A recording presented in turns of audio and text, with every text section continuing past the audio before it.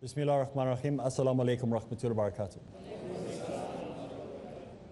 Welcome to another episode in the series Dawah ilallah as we go through the look at the comparative sciences in a way to be more effective in our dawah. Doing a little bit of comparative studying now. And uh, we're looking specifically at the Christians' evidence that they present to us regarding whether Jesus, peace be upon him, was actually crucified or not. And we said there are many alternative theories. We don't agree with any of these theories. My job is not to give you solutions, my job is simply to give you questions. I am not a motivational speaker, I'm a demotivational speaker. I'm not to tell you how great life is, I'm here to tell you how wrong and bad life is, especially if you're a Christian. If you're a Muslim, I've got lots of good news. So, my job is not to give you what happened, it's to be a prosecutor. And so, these are not beliefs that I hold. I don't believe any of this stuff, to be honest. I'm not here to tell you nice, sweet stories about the crucifixion scene. I'm here to tell you why there are problems and why we cannot believe it as credible. That's it. So, people may be upset with me, people may not agree with me. I'm not talking from a perspective as a Muslim. We are talking from a perspective as a student, simply looking at the text and saying, how can you get this interpretation from the text? We are asking you to question where you get these beliefs from. We as Muslims totally have a different understanding of what happened to the Prophet Isa, peace be upon him. That is very important to understand. If we look at the entire scene that is spoken about at the actual crucifixion, we're not whether it happened before, we're not interested in what happened later, how many days, all that, we're not interested. We are talking about the crucifixion itself. If we look at the crucifixion story, it looks as if, if you are looking at it from a Christian perspective and you believe that Jesus is a God or is part of the Godhead, that he is a very incomplete God. How do we say this?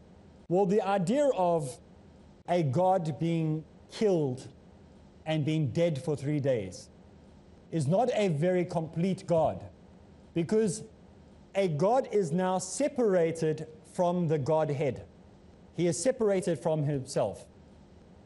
If you take your arm and you cut your arm off and you leave it on the side of the road without being put on ice or any medical treatment for three days, no matter what you do, it ain't going to come back to life again.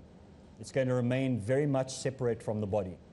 So the idea that the Son of God or Jesus the divine, whatever you might look at it from a Christian perspective, his dual nature of being both 100% man and 100% God according to Christianity. There is a big problem with the three days. If God is supposedly incarnated into Jesus and he is 100% man, 100% God, the 100% God is dead for three days. Therefore, the universe is without a creator for three days. It would be like saying to the earth, We do not have gravity for three days. What do you think the situation will look like after three days? There'll be nothing left. The whole of life as we know it would have come to an end. Just three days. So, the idea of a God being away for three days, even if he has a backup plan with two others, it still means that there is an incomplete Godhead. And the idea of a God being misplaced for three days is very dangerous. Very dangerous theology to have. But some Christian theologians, in trying to resolve the Rubik's cube, have mixed up the colors and made it even more difficult by saying, no, but he wasn't just nowhere, because he wasn't in heaven, we know this. Because when he raises from the dead three days later, he says, Do not touch me, for I have not been to the Father yet. So we know he's not in heaven. We know he's nowhere else. There's only one place he could be. And this is where Christian theologians say, no, he went to hell for three days. If he goes to hell for three days, then he's no longer God because hell is where God is not. And therefore, he becomes no longer God. The other issue is if he's down in hell, not that hell is down, but if we're looking at it from a loose understanding, then why does he have to go through the suffering of the crucifixion if he's really going to suffer in hell? Why does he have to go through suffering on earth and suffering in hell? Surely there would only be enough for him to suffer in one place. If he goes to hell, that would all that would be required. He doesn't need to have to go through the crucifixion, the mocking, the floggings, and all the rest of it. surely he'd just go to hell. There's no need for both. What's the purpose? There's no ancient ruling for this to have happened. We don't see the likeness of it in the Old Testament because Christians like to superimpose the Old Testament sacrifice of the lamb onto Jesus being the sacrifice. But we don't find the lamb, you know, suffering in a burning fire in a furnace for three days, and then after that, the lamb coming out without any markings on him and being fine. So the only similarity to it is something dying. But there's no idea of this three days in hell. And even if we put the sinless person, according to Christianity, into hell for three days, it creates so many other theological issues. So it creates the idea of an incomplete Godhead or an incomplete God, not being whole. And this is just not acceptable to any reasonable human being. Even an unreasonable person cannot accept this. Even the atheist will go, ah. So it's not possible for the concept to have been. And so if you add the idea that he went to hell for three days, the argument becomes even more confusing. So let's have a look at the next point that we come across when looking at the idea of the crucifixion, and that is the idea of the Passover. Passover is a festival that is celebrated. For the Jews, the Passover is a very important festival. It has very deep religious significance. And a large number of pilgrims from all over the world would be coming to the temple in Jerusalem to celebrate the Passover at the time when Jesus, peace be upon him, was supposedly crucified, when the crucifixion took place. And they came for this specific celebration almost in the same way as Muslims would go on Hajj. Very, very pious period of time. They're not interested in anything else other than what they came there to do. It's a time where you're trying to get rid of the sins of the previous year or the sins of your past. Most people, it's once in a lifetime experience. So, Jerusalem at that time would be filled with pilgrims. And some of these pilgrims would be indifferent or perhaps opposed to or even hostile to Jesus, peace be upon him, at that time. But a large number of those people who came would have come from Galilee, where Jesus came from, where he did all his miracles, where he turned did all the miraculous things that he did. And they would have been defenders of him. And they would have not been silent. There wouldn't have been 10 or 20 of them like we see in the movie. There would have been a few thousand of them. A great number that would have come. And they would have heard of the miracles that Jesus had performed. They would have had friends or friends or cousins or somebody who would have known something. And so once Jesus had been arrested and had been securely tied up in the system, they would have made sure that they would have done everything to break him out. They would have caused riots in the street. They would have been protesting. You think what was happening in Egypt and places like that would have been something to make news of? This would have made more news. And even those people who came there for the celebration for the Passover would not have been interested in getting their hands dirty because it would have broken the whole spirit of the Passover. So it's very, very unlikely that during this Passover that the crucifixion scene would have taken place at this time. And especially not for somebody who was so well known. It is likely that the whole idea of the crucifixion taking place at the Passover time was superimposed later by Christian theologians to make it look like, oh, like the Passover sacrifice of a lamb, same Jesus was a lamb that was sacrificed. So the story was moved from whenever it actually did happen, or if it ever did happen, to this period of time. It would have not happened at this time. There would have been riots, there would have been protests, people would have been angry. No matter what had happened, there would have been defenders, there would have been haters, there would have just been chaos in the streets. There would have been those people that were part of the opposition and those people that were part of the condemnation. So when we look at this, it is very unlikely that this took place. And it is not understandable as to what the rush was anyway to pass the sentence of death on Jesus during this time. If you know it's a heavy, very conservative religious time of the year, why not just wait for the two days to go over? After it's done, then you can do the public execution. Why do it at the time where you know it's going to cause animosity and violence and terror and hate and anxiety in the streets. And remember that the Romans were not interested in what Jewish custom was. They were pagans. And the Jews would not have wanted to break the spirit of the Passover. They would not want to have got their hands dirty in anything. And if we look at the account, it was Thursday evening. Friday is when the Passover began. Do you really think that the high priests and the bishops, important religious leaders, would want anything to do with a long trial, especially at 12 o'clock at night?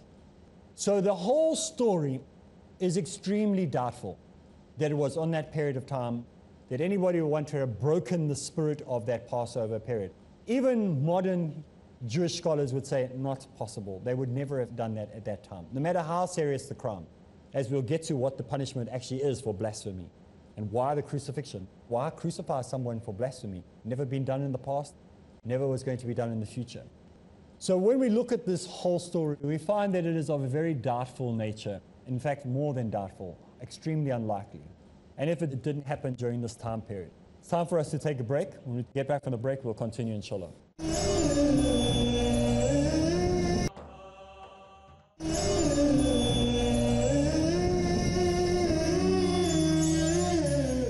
Bismillah ar-Rahman ar-Rahim. Assalamu alaikum rahmatullahi wa barakatuh. We're talking about the Passover in relation to the crucifixion taking place during this time.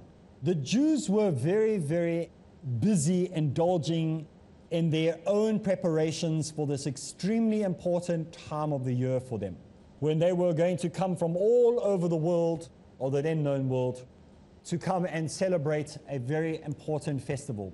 And so they would not have been interested in indulging in a midnight trial, especially the great religious leaders of the day, whether they be Jews or not.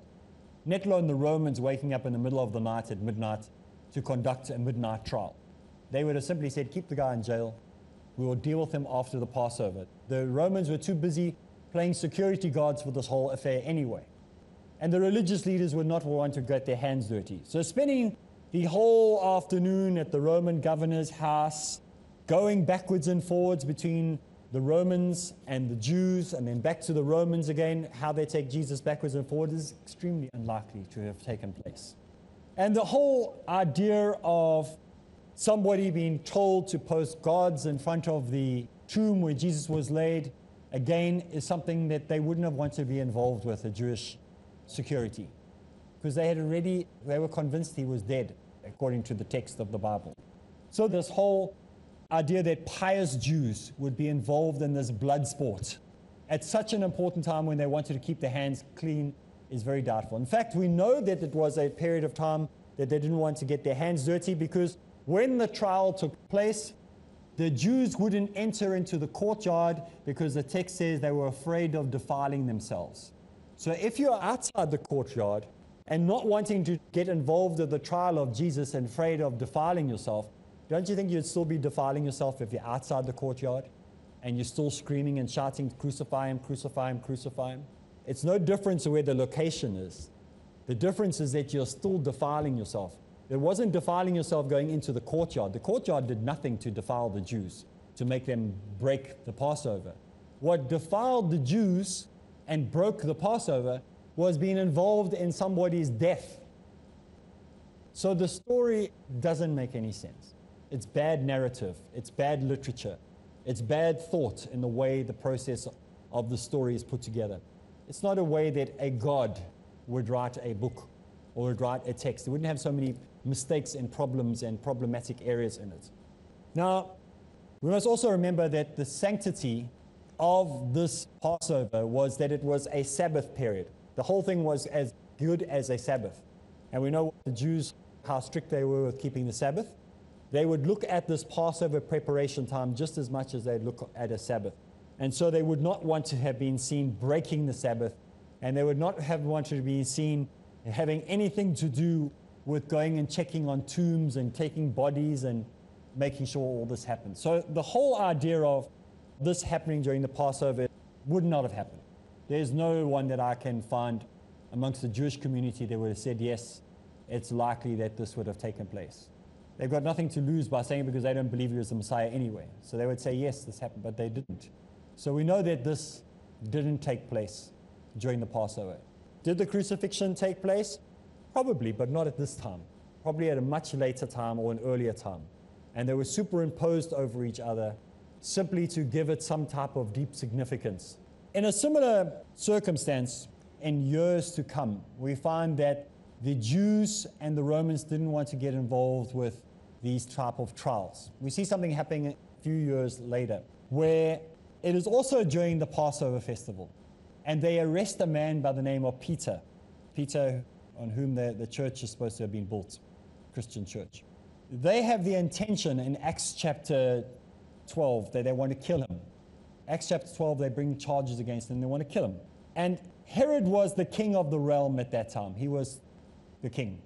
And so he could have simply ordered that Peter have his head cut off, beheaded him, like he did with John the Baptist just a few years before. He had killed John the Baptist, cut his head off, and walked around with it. He had done the same thing, but not in the Passover period. He could have just simply said, behead him, and he could have had him killed, or crucify him, or stone him, or whatever it is. But why doesn't he do this? Just prior to this, he had also killed James, another disciple. So he could have killed Peter without a problem. He'd already killed two people, or perhaps three if, if, if you include Jesus in the story. So why did he not do this to Peter? Why does he need to kill Peter at the same time that Jesus, peace be upon him, was supposedly killed in the Christian narrative during the Passover? Well, it's obviously because the Passover was so important that they didn't want to defile that period of time. Otherwise, he'd have just done it. I mean, he had done it, he had killed three people already without any problems. Supposedly, one on a Passover before Jesus, and then two others outside of a Passover. So he could have just done it. I mean, he wasn't like he was afraid of blood on his hands, he was quite happy with killing people. So he was more interested in other affairs to worry about something earthly like that during a Passover. An execution would have defiled the whole spirit of the festival of the Passover. That's why he didn't do it to Peter. And so Peter is spared during this period, during a Passover, not because not wanting to defile it. Why did they not spare Jesus during this period if they didn't want to defile it? And Peter had done much worse than what Jesus had because now he's going around making disciples and claiming he has got the new church and that Jesus is now the Son of God and he's raised up into heaven. Much more blasphemy than Jesus simply saying that he is, and his kingdom is not of earth, but his kingdom was of heaven. That was the charge against him. Peter is saying much worse. Peter is now saying he is an apostle of God who is, Jesus is now raised from the dead and sitting at the right hand of God. Far more blasphemous, far more deserving of immediate death than what Jesus was. May I be pleased with him. So we find that Peter's story, intriguing that he does not get crucified. Time for his execution is changed until after Passover. So it doesn't make sense from the text where we see it happening to the one, but we don't see it happening to the other. So what we find is that it is very odd when we look at the text. The more we look at the text, the more we find these inconsistencies with the narrative talking about the crucifixion. Now, the Friday before the Passover, when this happened, is the day of preparation for that coming festival. So, Thursday night, they arrest Jesus, peace be upon him. Friday is when the trial takes place, but it's a day of preparation for the Passover, a deeply religious period of time. The Jews were going to be too busy in preparing for buying product, buying everything before the sun goes down, to worry about long trials and all standing out in the courtyard saying, Crucify him, crucify him, crucify him. I mean, think about the Hajj. You don't waste a minute. The longer you wait, the longer it's going to take for you to finish whatever you're going to be doing. You're not going to go around shopping on the days of Hajj. You go and you get it done because it's going to take you a long time to do. So they're not going to be wandering around having long discussions and getting involved in political affairs. Whatever happens at this time, we see that if Jesus, peace be upon him, was actually found being blasphemous, claiming to be the Son of God, what was the sentence that would have been carried out? It's Friday. The Jews were thinking, okay, this man has come here, we've arrested him on Saturday. Let's get this trial sorted out quick and just deal with it fast. What would the sentence be for somebody who claimed to be God or the Son of God. What would the Jews have done? Anybody know? That sentence was stoning to death. That's the sentence that has always been like it. If you claim to be the Son of God or whatever, the sentence was simply stoning to death. So why not simply just stone Jesus to death and get it over with? It would have been 10 minutes, it would have all been over. No big crucifixion scene, no worry about big riots taking place in the streets or the city. You could have just simply stoned him, take the body out, and that would have been done. So why crucifixion? It doesn't make any sense at all.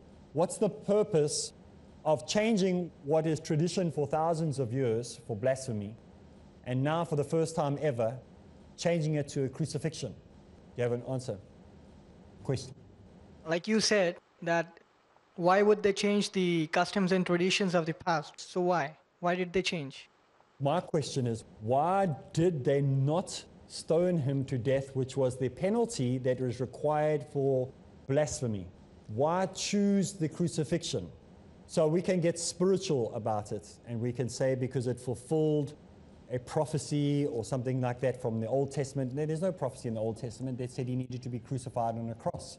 So the requirement of why didn't you just stone the man and get it over with?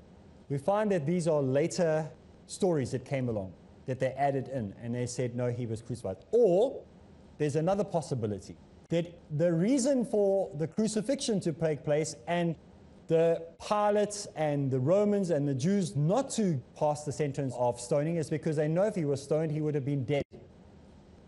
So, preventing him from dying, they choose crucifixion. And they say, part of a conspiracy, let's not stone him, which is the normal custom, let's crucify him.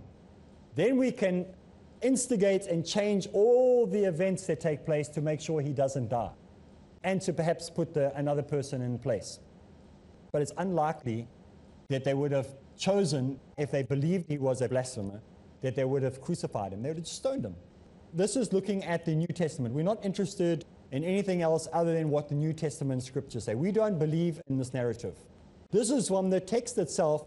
It gives enough evidence that it's of doubtful nature because of all the contradictions and the misunderstandings of the culture and the events of the time. If a person was writing this narrative and he knew that blasphemy was a sin and that the penalty was stoning, why would he say the charge was a blasphemy? That's why he's crucified. Doesn't make any sense. So the charge was not for blasphemy, it was some other reason. So the text is wrong in what it says. So as we go through the study, we find fault after fault, problem after problem. So it's not what we as Muslims believe. You must understand this. This is what we are looking at as analyzing and looking at it from an analyst's point of view. And we're saying there are great problems. Well, that's all the time we have for today's program. So make sure you join us again, same place, same time. So for me, Areeb Islam, and the rest of us here, Assalamu alaikum wa rahmatullahi